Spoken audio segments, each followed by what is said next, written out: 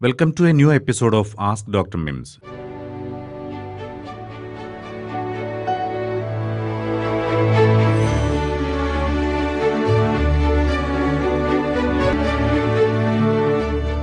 ഇന്ന് ഞാൻ സെലക്ട് ചെയ്തിരിക്കുന്ന മെയിൽ മലപ്പുറത്ത് നിന്നും ശരത്തിന്റെതാണ് ശരത്തിന്റെ സംശയം ഞാൻ വായിക്കാം. ഡിയർ ഡോക്ടർ മിംസ് ഞാൻ മലപ്പുറത്ത് നിന്നും ശരത്താണ്. എന്റെ അച്ഛന്റെ ഹൃദയക്കുഴലിൽ ബ്ലോക്കുകൾ ഉണ്ടായതായാണ് പരിശോധനയിൽ കാണുന്നത്. ബ്ലോക്കുകൾ നിസ്സാരമല്ല ബലൂൺ ചികിത്സ വഴി മാറ്റാവുന്നതുമല്ല. അതുകൊണ്ട് ബൈപ്പാസ് സർജറി ആവശ്യമായി വന്നിരിക്കുന്നു. എന്താണ് doctor coronary artery bypass surgery രക്തക്കുഴലുകളിലെ ബ്ലോക്കുകളുള്ള സ്ഥലങ്ങളിൽ രക്തയോട്ടത്തിന് പകരം മറ്റൊരു പാത പിടിപ്പിക്കുന്ന രീതിയാണിത്. തടസ്സമുള്ള ഭാഗത്ത് സാധാരണയായി നെഞ്ചിൽ തന്നെയുള്ള ലീമ എന്ന് വിളിക്കുന്ന മറ്റൊരു രക്തക്കുഴൽ മാറ്റിവെക്കുകയാണ് ചെയ്യുന്നത്. കാലിൽ നിന്നും കയ്യിൽ നിന്നും രക്തക്കുഴലുകൾ മുറിച്ചെടുത്ത് ഇങ്ങനെ ചെയ്യും. ഈ ഓപ്പറേഷൻ രണ്ട് രീതിയിൽ ചെയ്യാം. On pump surgery off pump surgery അല്ലെങ്കിൽ ബീറ്റിംഗ് ഹാർട്ട് സർജറി എന്നിവയാണവ. ഓൺ പമ്പ് സർജറിയിൽ ഹൃദയത്തിന്റെ പ്രവർത്തനം താൽക്കാലികമായി ഒരു മെഷീൻ ഏറ്റെടുക്കുകയാണ് ചെയ്യുന്നത്. ഓഫ് പമ്പ് സർജറി പ്രവർത്തിച്ചുകൊണ്ടിരിക്കുന്ന ഹൃദയത്തിൽ ചെയ്യുന്ന സർജറിയാണ്. ഇതിനെ ബീറ്റിംഗ് ഹാർട്ട് സർജറി എന്നും വിളിക്കാറുണ്ട്. ഈ ഓപ്പറേഷന് ശേഷം രണ്ട് ദിവസം രോഗി വെന്റിലേറ്ററിലായിരിക്കും. ഓപ്പറേഷൻ കഴിഞ്ഞ രോഗികൾ ഡോക്ടർ